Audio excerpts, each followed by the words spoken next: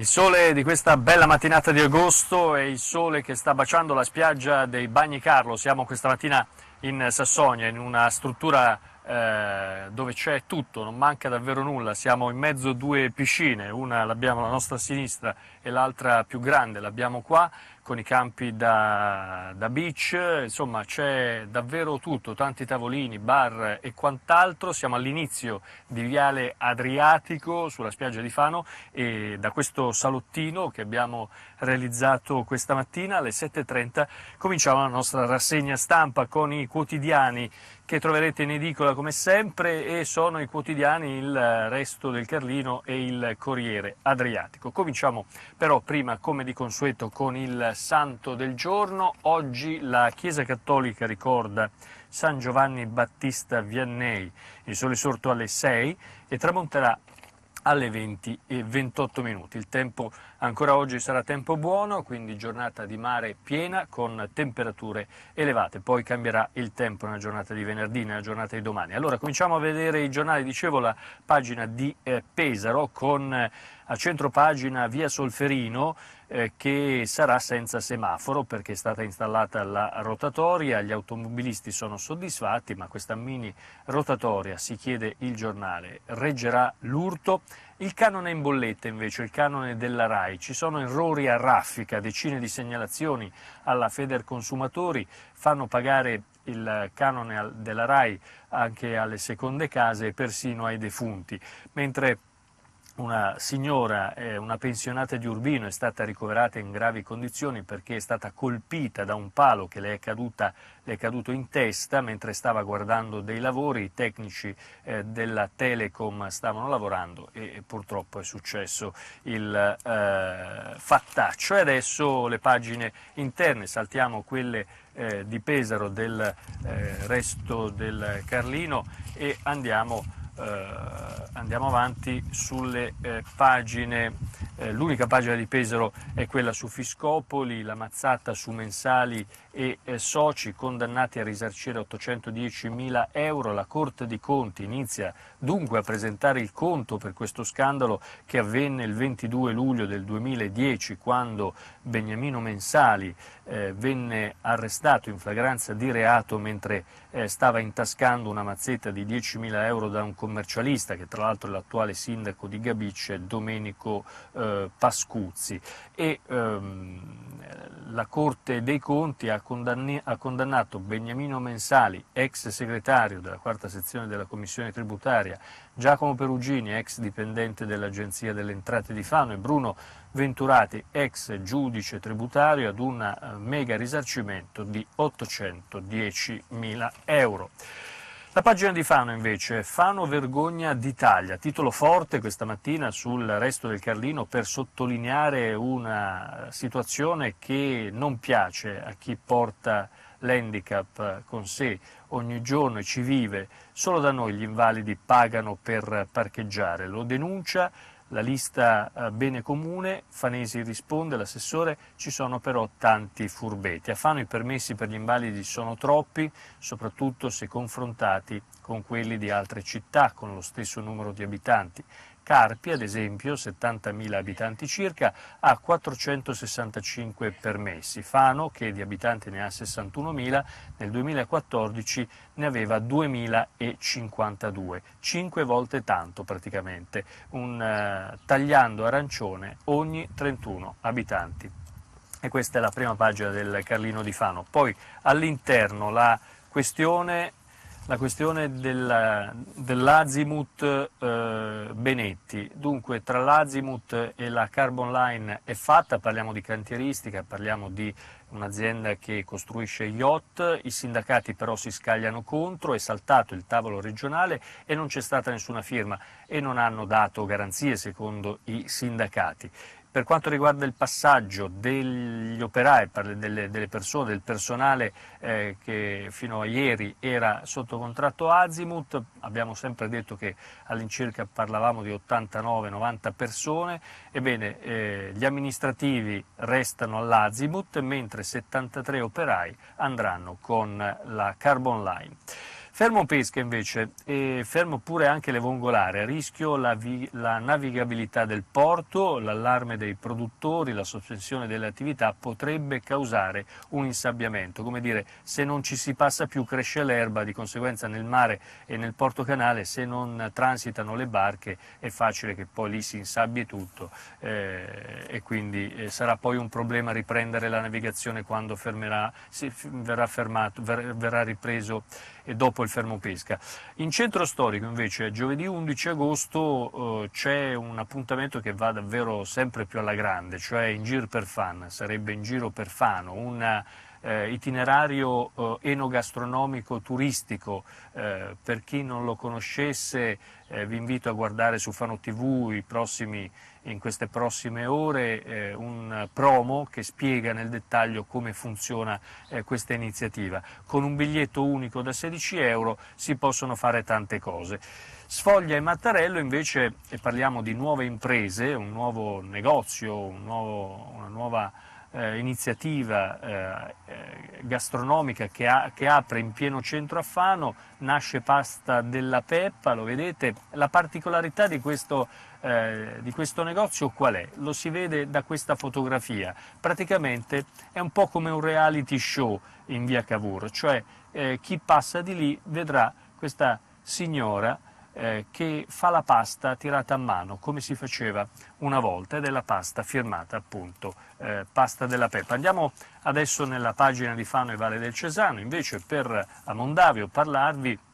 di una rievocazione storica che è arrivata a quota 57, è la caccia al cinghiale, il cui programma è stato presentato ieri mattina dal presidente della Proloco di Mondavio Claudio Goffi. È un'iniziativa che ormai si ripete da appunto 57 anni, Mondavio rievoca l'arrivo del Duca e della Rovere tra tradizione ed effetti speciali, il banchetto rinascimentale senza posate, poi lo spettacolo con 40 figuranti e infine eh, il, lo spettacolo dei fuochi d'artificio, che è uno spettacolo davvero incredibile, tutto da eh, vedere. E adesso andiamo nelle pagine del Corriere Adriatico, ma come sempre facciamo una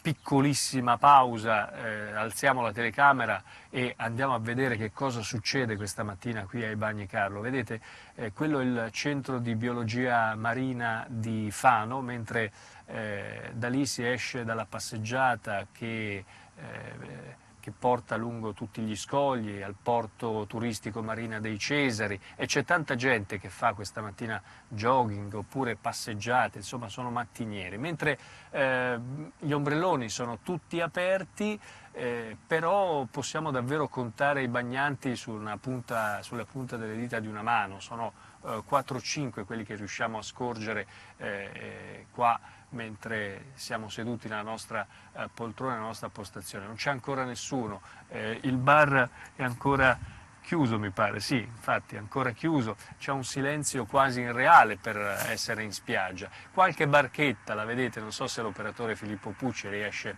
a inquadrarla facendo uno sforzo non da poco con lo zoom eh, della telecamera, ma insomma qualche barchetta a largo, ma bellissima, eh, bellissimo l'effetto del mare, le luci eh, luccicanti del mare che riflettono sulla, ed è uno specchio davvero oggi, molto bella, una giornata di mare strepitosa. Torniamo sui giornali, allora la rassegna stampa prosegue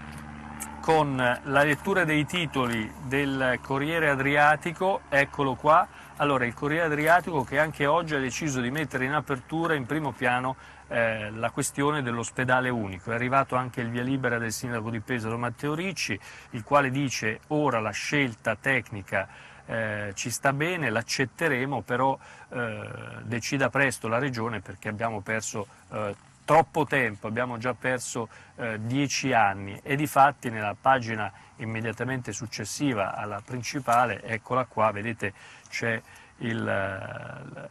rendering di quello che dovrebbe essere tutta la struttura dell'ospedale unico, eh, c'è questo pressing di Matteo Ricci, dice vabbè Google Maps eh, ci sta bene questo software che decide eh, per noi eh, il posto dove costruirlo, ma la regione ora si sbrighi. Eh, questa è, la, eh, questa, è la, notizia che appare in evidenza. E poi entriamo, andiamo velocemente nelle pagine di Fano, ci sono tante pagine sul Corea Adriatico dedicate a Pesaro. A Pesaro leggiamo soltanto questa, è un, è un intervento di Don Michele Rossini che interviene questa mattina sulla, eh, sulla, sulla questione del palio dei braceri, eh, mentre eh, dopo oltre un secolo è stata fatta slittare eh, alla prima settimana di agosto eh, quella della festa del Basilico di Santa Veneranda, eh, che non si è svolta come di consueto nell'ultimo fine settimana di luglio, ma inizierà da domani fino a domenica, eh, proprio per, eh, perché quest'anno c'era questa concomitanza con il palio dei eh, braceri. Insomma, eh, dice come una kermesse di oltre 100 anni deve cedere il passo ad un evento che ne ha solo praticamente sei. Questa è la ehm, la questione che sta facendo un pochettino eh, discutere a Pesaro. Mentre sulla, sulla, pagina di Pesaro di Provincia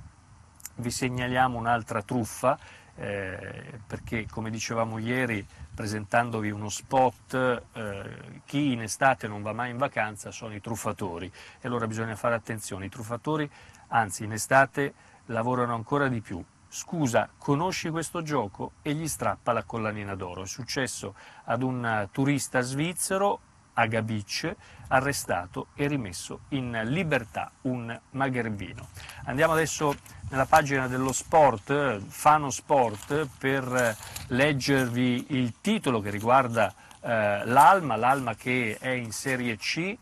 istruzioni per l'uso, tante novità per il ritorno in Lega Pro, ecco come eh, ricaricare o rinnovare la supporter card e muovervi, muoversi per i biglietti senza spendere di più. Su SportTube sarà possibile abbonarsi e vedere in streaming tutte le partite dei Granata. Autostrade, opere per, siamo sulla pagina di Fano, opere per 63 milioni, Viabilità, la bozza di convenzione tra l'amministrazione comunale e la società arriva in consiglio, ultimo step burocratico, poi via i lavori che prevedono quattro bretelle e uno svincolo all'uscita. In giro per fan, grandi numeri per riscoprire il centro storico, Carboline arriva eh, a settembre Azimut Benetti ha comunicato al Ministero i tempi della cessione del cantiere, i sindacati non ottengono la verbalizzazione del loro dissenso, restano i timori per i eh, lavoratori. Sulla Valle del Cesano, colline roveresche, un milione per unirsi dall'Unione al Comune, unico benefici economici in vista, mentre a Mondavio si viaggia nel tempo con la caccia al cinghiale, lo abbiamo visto poco fa, e poi a Senigallia negoziante litiga addirittura con un bambino, un ragazzino autistico prende una caramella dallo scaffale e ne fa cadere altre, il commerciante lo allontana in malo modo, i genitori reagiscono sostenuti dalla uh, folla. E sempre da Senigallia è stato preso un pusher, un venditore di droga e la festa va in fumo, arrestato un ventenne bolognese e poi il ricordo uh, di un uh, sacerdote, padre Guido Montesi, era nato 75 anni fa a Corinaldo, la sua missione erano gli ultimi, morto in Africa, padre Montesi. E con eh, questa notizia chiudiamo qui la nostra rassegna stampa, rassegna stampa che torna domani mattina come sempre puntuale alle 7.30 sul canale 17 di Fano TV. È tutto qui dai bagni Carlo in Sassonia di Fano, la nostra rassegna stampa on the road che continua anche nella giornata di domani, forse sempre se il tempo ce lo permetterà. Noi ci salutiamo qui, vi do appuntamento questa sera alle 20.30 con eh, il nostro telegiornale Occhio alla Notizia. Arrivederci.